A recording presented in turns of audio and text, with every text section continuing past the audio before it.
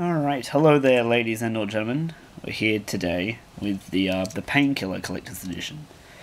This video would have gone up a while ago, but I wanted to do a 2000 subscriber video first. So, I've never played this, but apparently it's pretty scary, and I need a game that scares the shit out of me. Because it's been a while. Because I like the feeling of poop in my pants. So that was the front and the back, as you could probably notice from the fact that it was the front and the back. Because I'm assuming that the majority of you can see. Maybe there are some people who can't see that are watching this, because they wouldn't be watching it per se. They're just listening to it because they like the sound of my voice, and that's kind of creepy. And flattering at the same time. So that folds off and comes out to go away. So there's that, and it opens up so there's a scary demon thing. As I said, I haven't played the game. Okay, so it opens up, and first we've got the making of. There's the soundtrack, which is upside down, and there's the game DVD. So that's the start of it. And then slide that.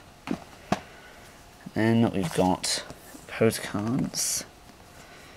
So, scary flying demon thing lens. That's better. And a zombie looking thing. Oh, this is a poster. This is a little, little poster. And there's meant to be a second one. And it's a, a bigger version of the of the flying thing.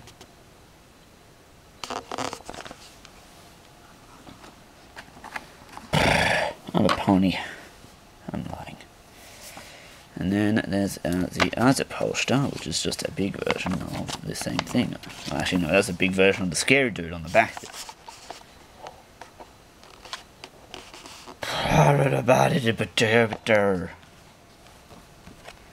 There's some stickers. There's BA stick. Why is the girl pretty much naked? I don't understand. And then there is the Ertberg Armageddon art book. That's the index there. Surgeon with ra saw hands. Razor saw hands? Razor saw hands. That's pretty cool. Some more scary demon things. Oh my god. That looks unpleasant. And there's that.